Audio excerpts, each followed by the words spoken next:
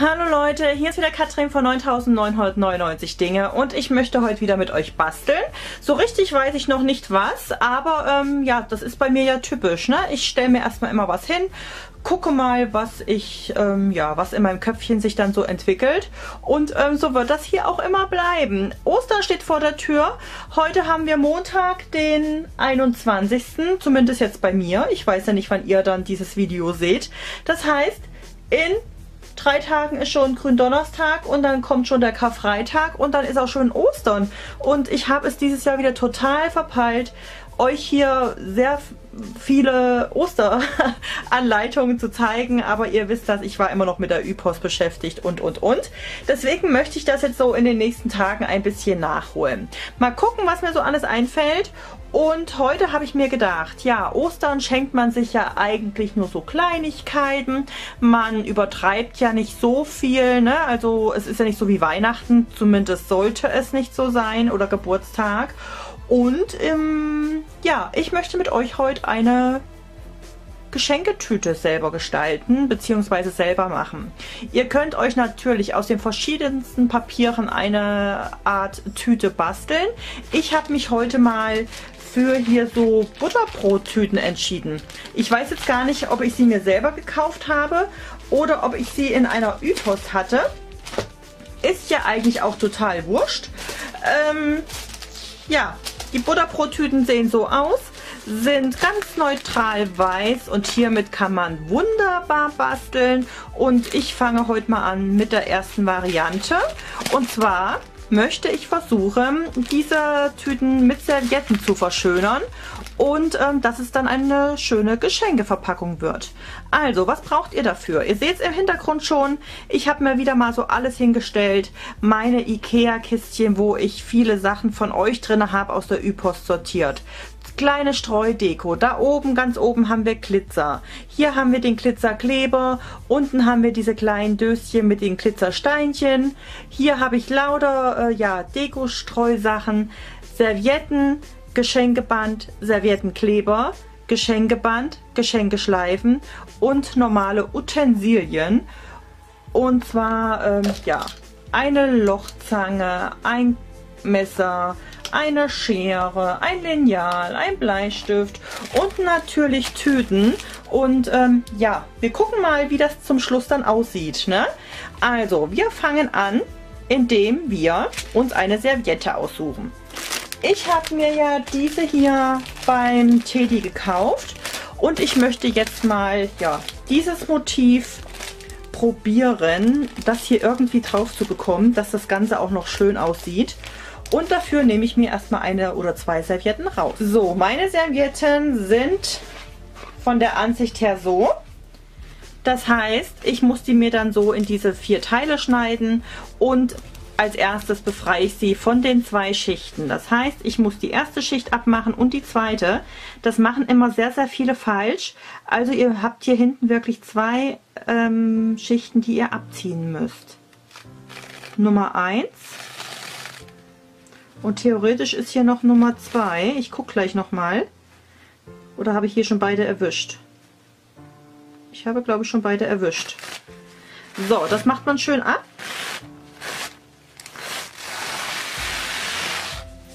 Gucke ich nochmal. Hm, weil wenn ihr das nämlich nicht abmacht, wählt sich das dann beim Drauftragen. Also dann geht da spätestens da die Schicht ab. Ich glaube, bei der Serviette weil ich habe hier strukturierte. Die sind irgendwie ein bisschen anders aufgebaut. Jetzt muss ich mal hier lesen. Steht nichts da. Aber die scheint jetzt schon weg zu sein. So, jetzt mache ich mir hier vier Teilchen davon. Und so sieht das Ganze aus erstmal. Ihr müsst euch jetzt entscheiden. Möchtet ihr das wie hier so, zum Beispiel hier so drauf machen? Möchtet ihr den Blickpunkt hier haben? Dann würde ich zuerst sozusagen ähm, das festmachen und würde dann mit dem Rest das erweitern, also wie ihr die Ansicht haben möchtet. Und ich möchte als Blickpunkt dieses haben. Also platziere ich mir das auf meine Vorderseite. So, hier mache ich es nachher hinten zu, also ist das meine Vorderseite. Und jetzt mache ich mir hier schön die Servietten drauf. Nicht zu viel, weil die Brottüten sehr dünn sind. Und ähm, ja, dafür mein Serviettenlein, den habe ich von VBS, den habe ich schon ewig, ewig lang. Und wo ist jetzt hier mein Pinsel? Ich habe mir dafür einen Pinsel mit hingelegt. Der ist verschwunden. Also muss ich mir auch noch einen Pinsel so. suchen.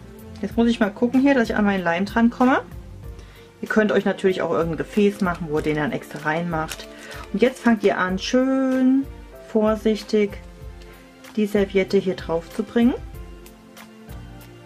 Sobald eine Serviette nass wird, reißt sie sehr leicht. Zumindest wenn da hinten keine Schutzschicht mehr dran ist, die wir ja abgemacht haben.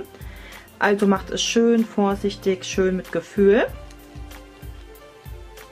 Und ich mache das jetzt mal. Und ich bringe dann auch noch gleich hier unten äh, meine Motive an und dann bin ich sofort wieder da so sieht das jetzt aus und es ist ja so, dass es sehr, ähm, ja, der Kleber ist halt nass, ne? Es geht sehr durch die Tüte durch und damit das an dem anderen Ende nicht hängen bleibt, also dass ihr zum Schluss die Tüte auch noch aufbekommt und es auch ordentlich trocknet, habe ich mir jetzt hier so ein Glas genommen und da werde ich die Tüte jetzt drüber stülpen. Es ist ja auch so, wenn ihr die Tüte aufmacht, dann ähm, geht die ja größer. Und das ist, sieht ja nachher blöd aus, wenn das weiß bleibt. Das müsst ihr ja dann auch alles mit Serviette ähm, verschönern. Und das geht halt super, wenn ihr die jetzt so richtig schön aufmacht. Stülpt die dann drüber oder über ein größeres Glas oder ihr nehmt ein, ein, Buch oder einen Gegenstand, der hier richtig schön reinpasst und dann könnt ihr das rundherum richtig schön gestalten und ähm, es liegt dann auch nicht so auf dem Boden auf. Also wenn ihr das jetzt so macht und jetzt könnt ihr dann weiter rundherum das schön machen und in der Mitte klebt das auch nicht aneinander, weil ihr ja, ähm, ja, die Luft drin habt. Ne? Ich hoffe, ihr habt mich verstanden. Und ähm, sobald das dann alles getrocknet ist, ist, ja, ist die Tüte ja eh wieder ähm, beweglich. Hier würde ich so ein bisschen den Knick trennen lassen, weil durch den ähm, Serviettenkleber wird es doch härter und ähm, dann bekommt man eventuell die Tüte nicht mehr ganz so gut auf und zu. Deswegen würde ich so einen kleinen Knick drinnen lassen und ähm, ja, ich bearbeite das jetzt rundherum und dann bin ich wieder da, sobald das Ganze getrocknet ist. So, fertig ist das Ganze. Ich habe jetzt doch die Seiten freigelassen, weil es hier äh, ja, sehr fest wird und ähm,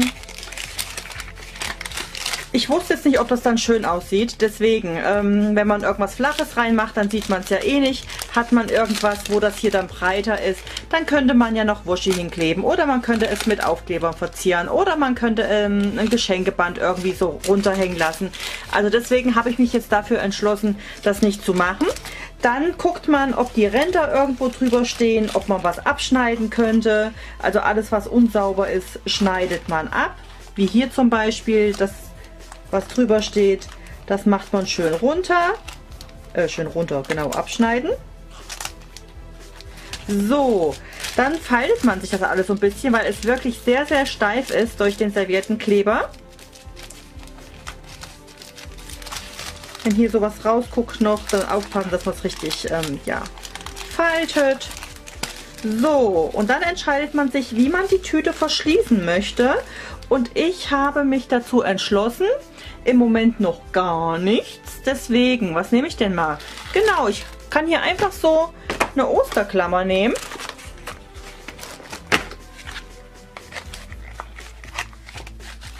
So. Und passt sogar farblich. Habe ich jetzt gar nicht drauf geachtet. Schon wäre meine Geschenketüte, ja, zu. Oder ich mache mit meiner Lochzange hier ein Loch rein. Das will ich jetzt, glaube ich, aber gar nicht. Also man könnte jetzt hier noch ein Loch reinmachen. Und dann hat man ein schönes Geschenkeband oder nimmt man schönes Geschenkeband, wie zum Beispiel hier das mit den Eulen, aber das wird nicht durchpassen, denke ich mal vom Fädeln. Hier diese Perlchen vielleicht.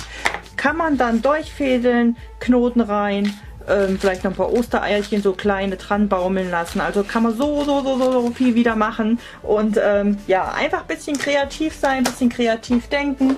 Oder hier so ein Schleifchen dann oben hier irgendwie so dran.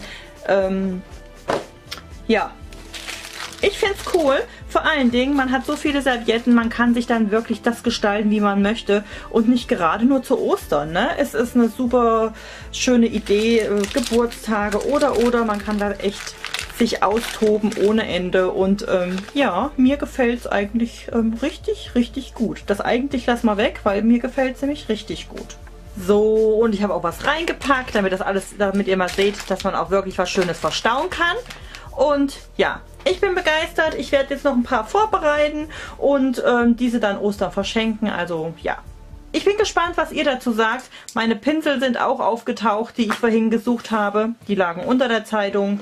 Und ja, ich freue mich über eure Kommentare, über eure Meinung und ich denke mal, es wird jetzt das eine oder andere Bastelvideo die Woche noch kommen, weil, ja, ich da ein bisschen aufholen muss mit den Osterbastelsachen, ne?